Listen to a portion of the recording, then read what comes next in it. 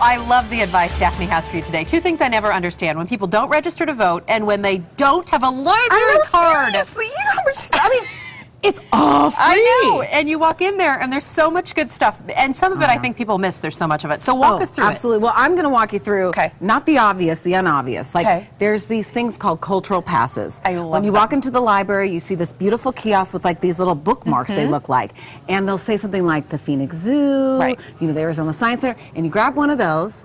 And you check it out with your library card that you can get for free. And guess That what? you better have Right, already. Right, exactly. That those passes give you two free adult admissions into any of those cultural or arts that we have My institutions. sister loves these with her kids too. Oh my God, They but they're so great. Yeah. Because I have to say, today I was kind I was at the library. That's you know made me think about this, and I was like, you know, I remember the days when my daughter was younger, and I used to go to the Arizona Science Center, and Yeah. I'd have to pay Yep. for it. So this saves you a lot of money. And the Phoenix Zoo is one of them. There are many of them, and I actually have a list of all the um, public libraries because they're all over the valley. If we can bring that up real quick, um, they're all over the public library. You got Chandler, you got Desert Foothills. I well, mean, this is the cultural pass that's Right. up there right now. So, but people can look up the libraries too. So that's good. exactly the different libraries where Oh, you right. can get, get all those different cultural passes. So they're all over. It's not just Phoenix. It's Chandler, Glendale, Mesa, and these are the different uh, museums that the passes Mhm. will they, that, that are available there. Now it's a first come first serve basis, Right. And you can only check them out for seven days. If you don't see the pass to the museum or the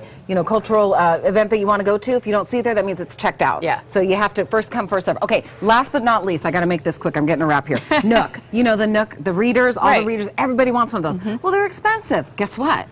There are seven Phoenix Public Libraries that will rent these out to you absolutely free for three weeks at a time. But guess what you have to have in order to do that? Do that. Come Library Katie. card. There you go. Which you should already have. Love it. You are speaking my tune. So all the details of all the stuff that Katie and I talked about are on our website at abc15.com slash smart shopper. Thank you, Katie. Love it. Thank you. Steve, back to you. Crazy thing about those library cards, they're free too. Ah, yes. Yeah. There you go. Yep. Right no excuse. Thanks, guys. uh, sea turtles.